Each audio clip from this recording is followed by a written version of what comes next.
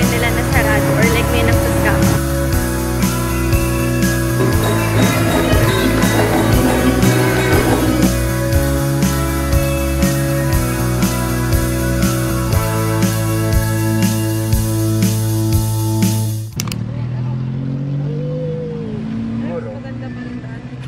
Hey, it's me again and welcome back to my channel. Our first full day here in Bangkok and papunta kami ngayon sa temple. So from Vince Hotel, maglalakad lang kami papuntang Ratchathuli Station. Tapos doon na kami sasakay to our first temple which is Wat. So tatawid tayo dito. Tapos kailangan natin makapunta doon sa left side. Kasi doon yung entrance nung station. Ayan na yung Ratchathuli Station. Ng single ticket to Asok Station.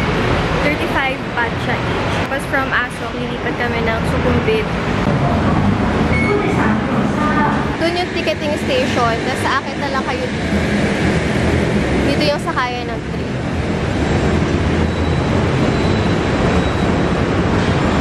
From here, ano tayo? Bayan. So, lang namin from Asok. Then, iwan dito yung ticket. Tapos, papurchase ulit kami to Sanamchay. So, yung Sukhumvit station pala, papunta dito sa baba. Bale, underground siya. Kasi galing kaming BTS. Ayan. So, dito lang. Insert. Okay. 36. So, 36.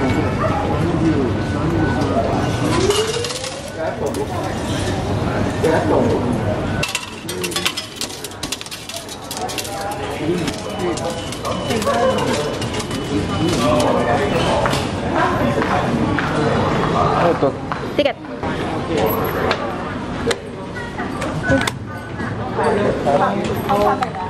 So, every time nagtatap kayo sa MRT, make sure na makakalusot na kayo kasi katulad nung nangyari sa kanya, nalaglag yung coin niya bago siya nakapasok. Pero pag nalaglag naman, pwede naman kayo magpa-assist kasi i-check din naman nila if valid pa yung ticket niyo.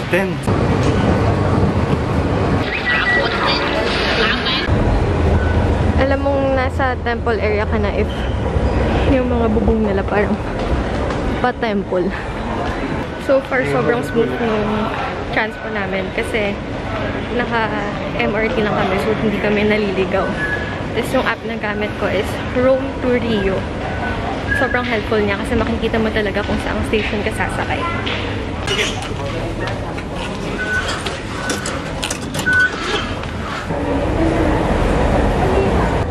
Ayan! Pag nakita niyo na to, nandito na yung palace. So, tatawid lang tayo papunta doon. So,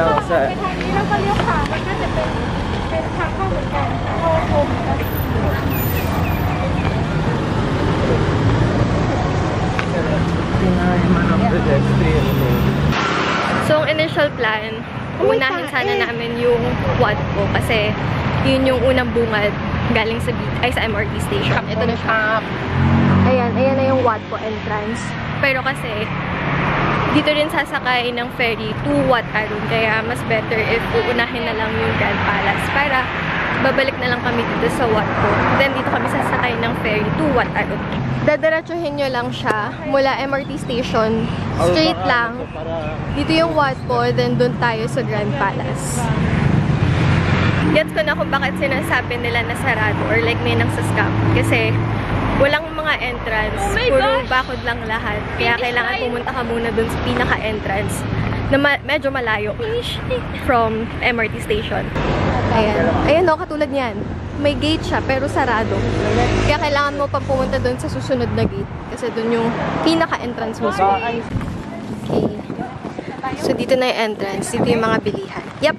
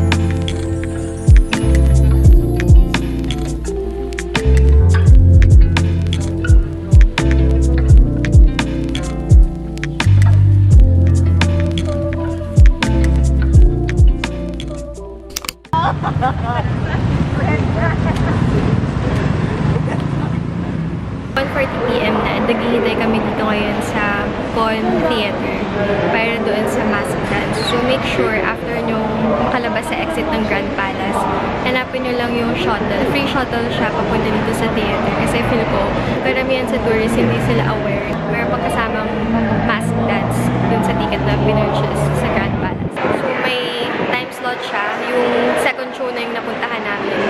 So 2.30 yung start. Tapos yung pag-alis ng free shuttle mula sa Grand Palace is at 1.30 p.m.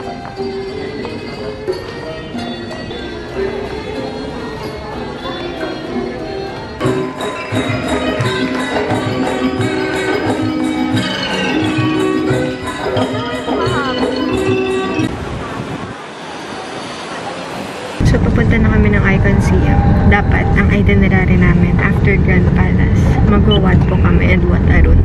Pero, hindi na namin kinaya. Tsaka, din. It's currently 4 p.m. and hindi pa kami nagla-lunch.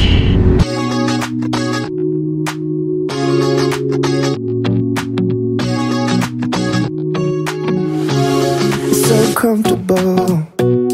And no one seems to hold me like you do. Mm. So wonderful. A star could never shine as bright as you. Mm. Shine as bright as you. Even the dark days still see light. Even the birds still sing at night. Every word just comes out right when I'm with you, with you.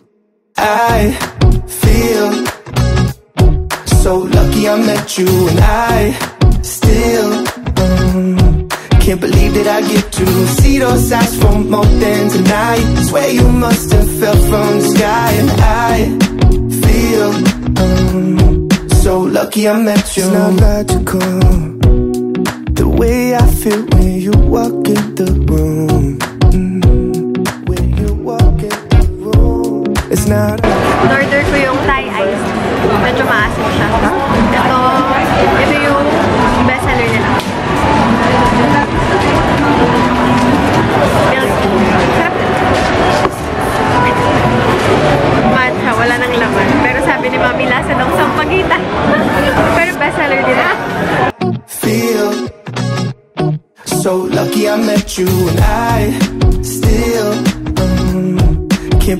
I get to those eyes for more than tonight swear you must have fell from the sky and I feel Okay guys, it's already 7.41pm and nandito na kami ngayon sa Vince Hotel.